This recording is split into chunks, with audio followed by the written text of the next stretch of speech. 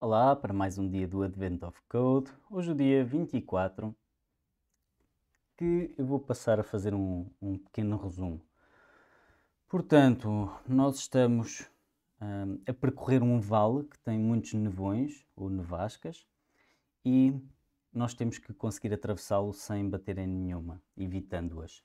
Essas nevascas são, uh, portanto, temos aqui um mapa em que os pontos são lugares onde podemos atravessar. Nós começamos no topo esquerdo aqui e terminamos no, em baixo à direita aqui. E hum, estas nevascas mexem-se ao longo do tempo, elas movem-se. E elas movem-se na direção que representam, portanto, este anda para a direita e quando chega ao final, ele volta ao início. Portanto, esta aqui, por exemplo, temos aqui o que acontece, ela move-se para a direita, move-se para a direita. Elas podem sobrepor-se, Portanto, pode haver várias sobrepostas que continuam depois a sua vida e esta que está aqui à direita, na vez seguinte, volta aqui ao início. E então o mapa que nós temos é um pouco mais complexo, tem várias, podem andar para cima, para baixo, para a direita ou para, ou para a esquerda e elas voltam sempre ao, à ponta oposta. E aquilo que nós temos que fazer é andar, onde andar significa que podemos andar para cima, para baixo, para a esquerda ou para a direita, ou podemos ficar parados no mesmo lugar. E então, este basicamente é um mapa em duas dimensões que se mexe ao longo do tempo. Então, apesar de, de, de eu ter feito aqui várias iterações e ter uh, tentado complicar, na verdade não é muito difícil. Uh, este parse input dos blitzes Uh, aquilo que nós fazemos é ter uma lista de, de blizzards, portanto de nevascas ou nevões. Cada blizzard é, tem um X e um Y, portanto tem as suas coordenadas e qual é a direção, cima, baixo, esquerda ou direita, sendo que esta direção está codificada aqui em cima uh, desta, desta forma, para ser mais fácil. E aquilo que nós fazemos aqui durante o parse input é que um, por cada uma das linhas, se guardamos aqui já agora um DY e um DX maiúsculo para, para saber qual é a última linha e a última coluna. Um, e aquilo que nós fazemos é, caso estes caracteres sejam um daqueles, de cima, baixo, esquerda ou direita, nós adicionamos à lista de, de blizzards um, com as coordenadas x e y onde eu estou, portanto em que y é a linha e x é a coluna, e o, o C, ou a runa, no caso do Go. E então temos uma lista de, de, de blizzards.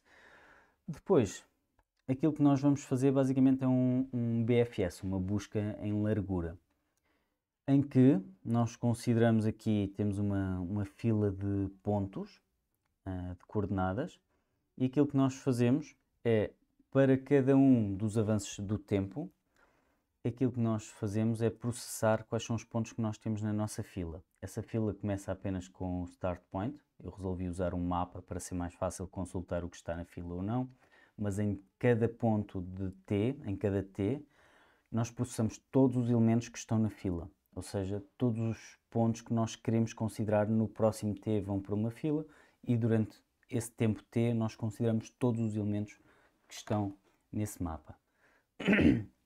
que é que significa este bmap que está aqui? Que é um, um dos pontos mais críticos, mas que acaba por ser o mais fácil, que é calcular qual é o estado do meu mapa depois de terem passado uh, X tempo.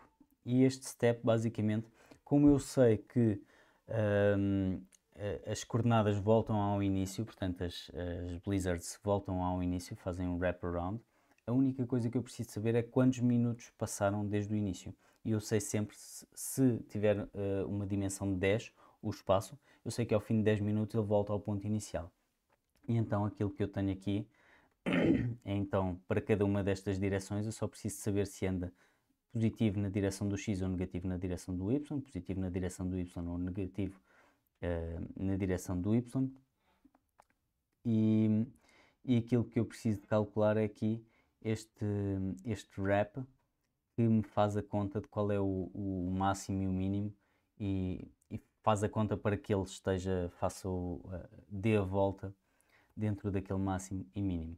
E então este BMAP dá uma solução de, do estado do mapa, portanto um, dá-me o estado do mapa no tempo um, e já agora este BMap é uma estrutura que é está aqui é, um, é só um, uma matriz bidimensional de inteiros em que uh, o inteiro representa quantas blizzards estão naquela posição.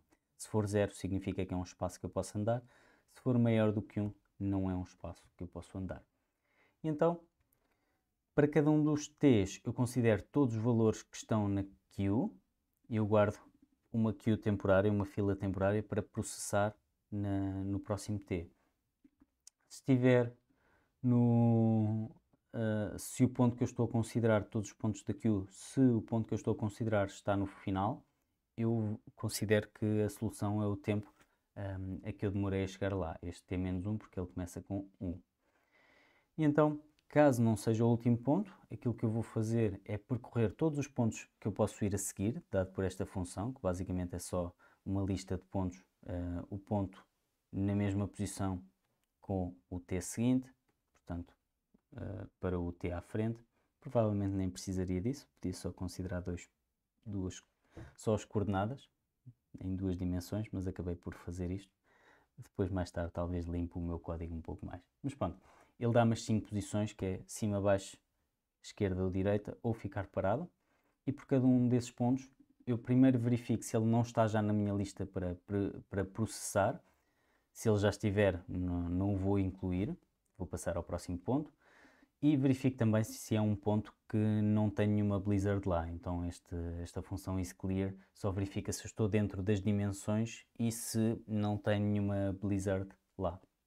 E, e então e verifica também aqui caso especial se eu estou na, na, primeira coordenada ou na última coordenada em que eu posso andar lá.